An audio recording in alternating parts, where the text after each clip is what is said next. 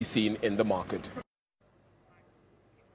Well, thanks very much. A fresh twist there coming in from the Bank of England. Now, back home, the government has pulled the plug on the privatization of Central Electronic Limited. The successful bidder has been disqualified after failing to disclose proceedings at the bankruptcy court. The potential privatization of Pawan Hans is also in doubt after the Company Law Tribunal passed an order against the winning bidder. Sapna Das joins us now with the details. Sapna, another setback to the strategic disinvestment roadmap. I mean, these are small transactions, but it tells you that something is not right with the manner in which privatization, the process is being run.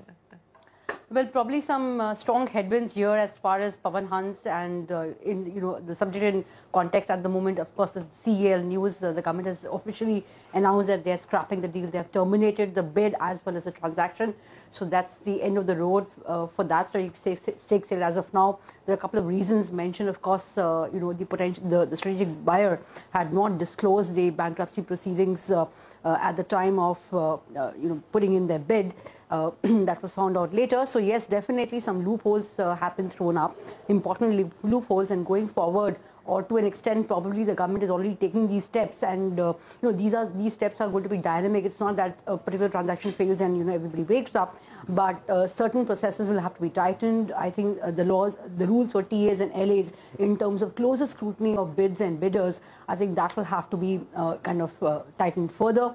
Also in terms of further due diligence process what else can be done? I'm 100% sure the government is already looking into it because this scrapping of the CEL de- uh, deal could actually be a kind of a you know, embarrassment for them because this was something that they could have avoided.